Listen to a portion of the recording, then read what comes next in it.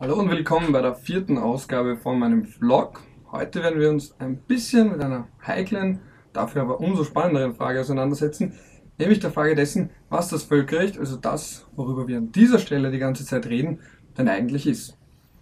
Im simpelsten Sinne ist das Völkerrecht das Recht, das die Beziehungen von Völkerrechtssubjekten untereinander regelt.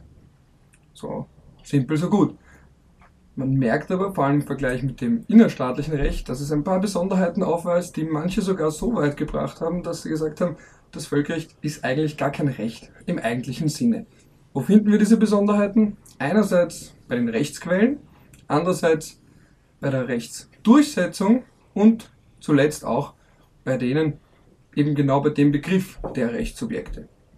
Besonderheiten bei den Rechtsquellen, wenn wir uns da den zentralen Rechtsquellenkatalog anschauen, nämlich Artikel 38 vom IGH-Statut, fällt uns auf, dass da zwei Rechtsquellen, vor allem zwei Rechtsquellen sind, die wir im innerstaatlichen Recht nicht kennen, beziehungsweise nicht in dieser Bedeutung. Einerseits das Völkergewohnheitsrecht, das zumindest in Österreich oder allen voran in Österreich, aber auch im kontinentaleuropäischen Raum ziemlich marginalisiert ist. In Österreich, manche sagen, es ist Gewohnheitsrecht, dass die Polizei eine andere Sirene hat als beispielsweise die Feuerwehr.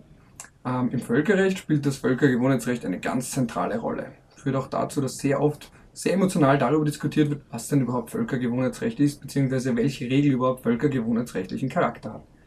Gleichzeitig finden wir dort auch die allgemeinen Rechtsgrundsätze, also Grundsätze, die sich in allen Staaten befinden und zu guter Letzt auch die Verträge, genannt Übereinkünfte, Covenant, Charter, wie auch immer man sie jetzt im Endeffekt nennen möchte, die auch da zeigen, dass die Staaten sich, beziehungsweise die Völkerrechtssubjekte sich im weitesten Sinne ihr Recht selbst schaffen. Es gibt nämlich keinen Weltgesetzgeber, es gibt auch kein Weltparlament, keine Weltregierung. Was bedeutet das?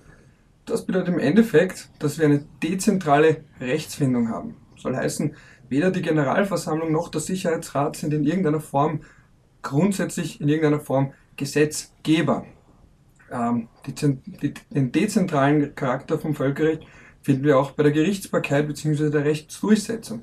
Es gibt auch kein Weltgericht. Auch wenn man den IGH so nennt, muss man dazu sagen, dass der IGH keine obligatorische Gerichtsbarkeit hat. Staaten müssen sich, obwohl sie, wenn sie UN-Mitglieder sind, ipso facto, also automatisch auch Mitglieder vom Statut des Internationalen Gerichtshofs, trotzdem eigens unterwerfen. Ohne eine Unterwerfungserklärung kommt man nicht vor den IGH.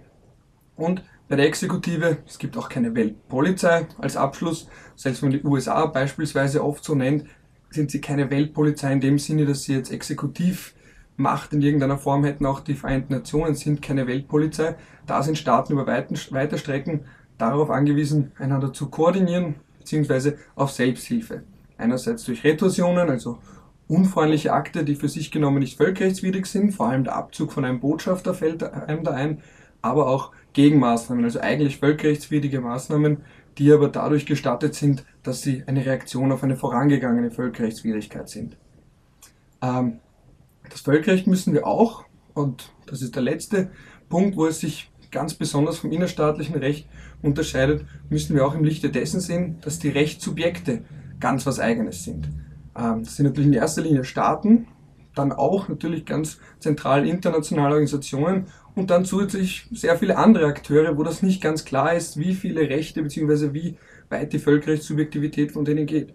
Individuen, ähm, vielleicht NGOs, multinationale bzw. transnationale Unternehmen, nichtstaatliche bewaffnete Gruppen, dann staatsähnliche Gebilde, wo das nicht ganz klar ist, sui generis Objekte und so weiter und so fort. Das heißt, man sieht auch, es gibt unterschiedliche Formen von Rechtssubjektivität und dementsprechend auch unterschiedliche Handlungskompetenzen bzw. unterschiedliche Rechte und Pflichten. Aufgrund all dieser Besonderheiten sind so manche sogar so weit gegangen, dem Völkerrecht seinen Charakter als Recht im eigentlichen Sinne abzusprechen. Vor allem der Name John Austin und seine Schrift The Province of Jurisprudence Determined aus dem Jahr 1832 fällt einem da ein. Ähm, da müssten wir jetzt einen kleinen Ausflug in die Rechtstheorie wagen, zu der großen Frage, was ist denn eigentlich Recht? Ähm, an dieser Stelle sei jedenfalls gesagt, dass das Völkerrecht natürlich, wie wir gesehen haben, so einige Besonderheiten im Vergleich zum innerstaatlichen Recht aufweist, aber deswegen noch nicht seinen Charakter als Recht verliert. Es ist mehr, um es beispielsweise mit Georg Jelinek auszudrücken, anarchisches Recht. Soll heißen, es gibt keinen Überstaat, der eben für die Rechtsetzung und Rechtsdurchsetzung sorgt, aber deswegen muss man, noch nicht, muss man noch nicht so weit gehen und zu sagen, dass es überhaupt kein Recht darstellt. Es ist eher so, dass, wie es beispielsweise Louis Henkin, aber auch so manche große Namen des Völkerrechts festgestellt haben, dass Staaten sich die meiste Zeit redlich bemühen, das Völkerrecht einzuhalten. Es ist vielmehr so, dass es uns natürlich auffällt, wenn es nicht eingehalten wird. Aber das gilt für das innerstaatliche Recht genauso. Auch das innerstaatliche Recht stößt an seine Grenzen, öfters an seine Grenzen, vor allem in Extremsituationen. Beim Völkerrecht ist das natürlich dann der Fall, wenn vitale Interessen von Staaten verletzt werden. Ähm, man denke vor allem an, Kriegen, an Kriege, ähm, an geopolitische Interessen und dergleichen. Aber im Großen und Ganzen wird das Völkerrecht trotz seines dezentralen, anarchischen Charakters meistens eingehalten. So. Ich hoffe, ich konnte euch eine kurze Einführung darin geben, was das Völkerrecht denn eigentlich ist, wo seine Besonderheiten liegen und hoffe, dass ihr auch bei der nächsten Ausgabe wieder dabei seid. Da wird es dann ums Gewaltverbot gehen.